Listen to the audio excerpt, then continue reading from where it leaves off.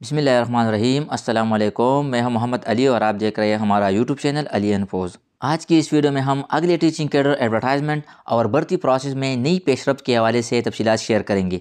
सुबह भर में मुख्तलिफ़ टीचिंग कैडर हाली असामियों को पुर करने के लिए महकम तालीम मुतहरक हो गई है और भर्ती के हवाले से तमाम इंतज़ाम मुकम्मल कर लिए हैं।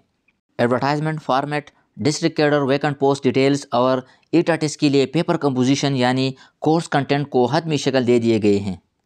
इस भर्ती के हवाले से सबसे बड़ी पेशरफ ये हुई है कि महकमा तालीम हुकाम ने ईटा हुकाम से भर्ती के हवाले से कई मीटिंग्स किए हैं। इन मीटिंग्स में इस भर्ती के तरीक़ाकार पर डिस्कशन हुई है और महकमा तालीम ने एडवर्टाइजमेंट फार्मेट, टीचिंग कैडर, हाली असामियों की तफसीत और टेस्ट पेपर कंपोजिशन यानी कोर्स कंटेंट को ईटा के हवाले किए हैं। इसके साथ साथ महकमा तालीम का इन इस की भर्ती के लिए ईटा के साथ एम भी साइन हुआ है। अब आप लोग पूछेंगे कि ईटा के साथ ये सब कुछ तय होने के बाद एडवर्टाइजमेंट क्यों जारी नहीं होता? तो इस हवाले से आपको बताते चले कि एडवर्टाइजमेंट तब आएगा जब महकमा तालीम को फाइनेंस डिपार्टमेंट से एन हासिल होगी। फाइनेंस डिपार्टमेंट से एन मिलने के बाद फ़ौर टीचिंग कैडर हाल असामियों का एडवर्टाइजमेंट जारी होगा। हमारे ज़राए का कहना है कि ये सत्रह हज़ार से जायद पोस्ट पहले से सेंक्शन पोस्ट है और फाइनेंस डिपार्टमेंट से एन में ज़्यादा टाइम नहीं लगेगा।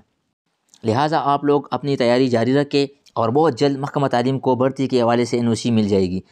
फाइनेंस डिपार्टमेंट से एन मिलने के बाद महकमा तालीम और ईटा हुकाम के दरमियान अप्लाई लास्ट डेट के हवाले से एक मीटिंग होगी, जिसमें महकमा तालीम ईटा पर ऑनलाइन अप्लाई का डेट फिक्स करेंगे। एन के हवाले से जो भी न्यू अपडेट्स आएगी, हम आपके साथ ज़रूर शेयर करेंगे। अपना ख्याल रखिए। अल्लाह हाफिज़।